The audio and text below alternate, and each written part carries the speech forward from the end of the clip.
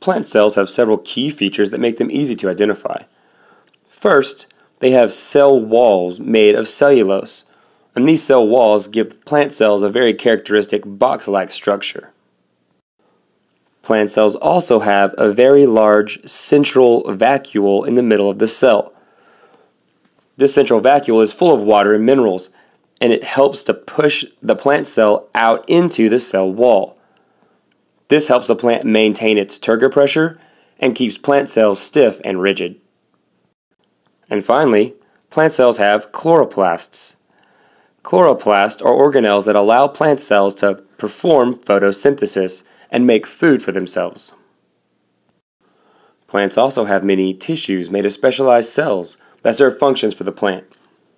The plant's epidermis is the tissue that is along the outside of the plant. Along the epidermis, there are tiny pores. Each pore is called a stoma and it's surrounded by a guard cell. Several pores are called stomata, and the purpose of these pores is to allow gas to enter and leave the plant.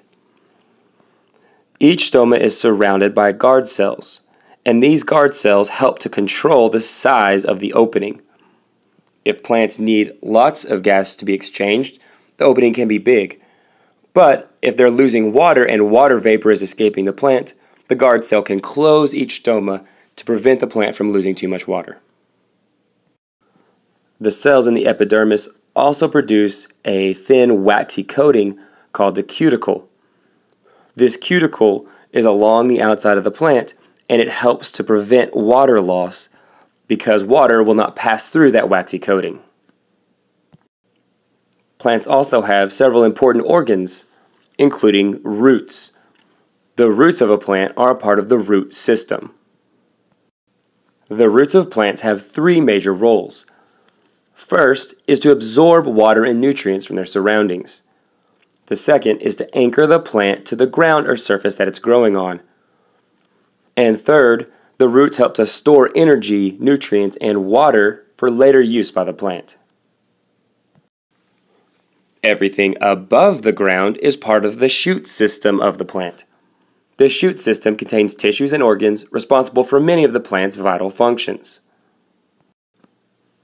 The shoot system provides structure and support to the plant so that it can grow. Water and nutrients are also distributed through vascular tissue in the stems. Leaves produce the plant's food by performing photosynthesis. This converts solar energy into usable chemical energy, and that chemical energy is in the form of sugars. And the reproductive organs of the plant are also a part of the shoot system. Flowers or cones are the reproductive organs in many types of vascular plants.